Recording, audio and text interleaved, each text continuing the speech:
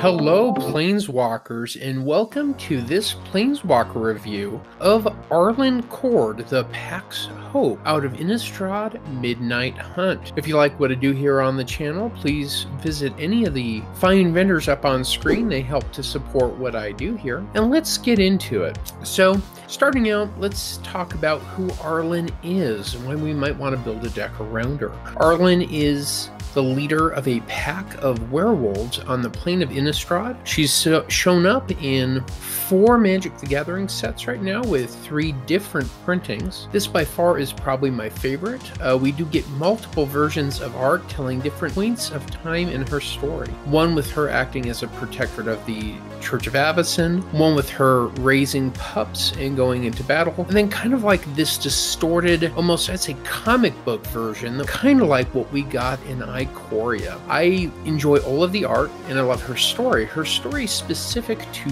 this Innistrad set, though, however, is she's leading the pack. Torval rises up against her, doesn't think she's doing a good enough job, and over, forcing her out. But I don't want to give too much away, so please, when you have a moment, check out the lore that's on WotC's website. Now, having said that, I do like the day Nightbound mechanic. I believe it is fairly playable. It brings another aspect into the game that you wouldn't have otherwise in another tool. Because we've only seen this mechanic in this set, it's highly limited, so I'm hoping we get a couple more daybound, nightbound creatures in Crimson Vow just to kind of fill it out. Because I'd like it to be more than just werewolves if at all possible, because there are some flip creatures that will give you a bonus day or night. But more solidly, every Arlinn Kord Planeswalker that's been printed so far cares about wolves and werewolves, so she's going to be a tribal commander in most cases. As far as signature spells to look out for, we probably want to play a couple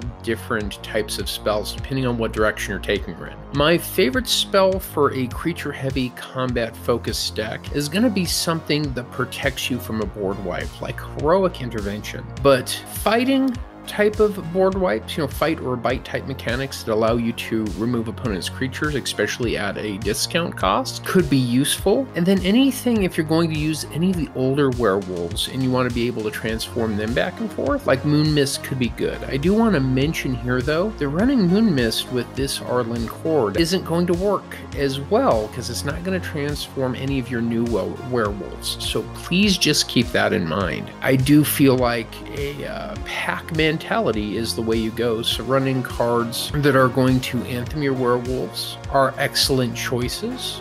But I'm still picking my brain about how I would specifically want to run this Arlinn Kord. So if you have an idea or you think you've got something more fun than just uh, tribal then I would love to hear it. Please let me know in the comments below the videos so that we can kind of get together and build something amazing. Um, thanks again for stopping by, and I hope all of you have a great day. And you just remember that your Planeswalker Spark lights up my life.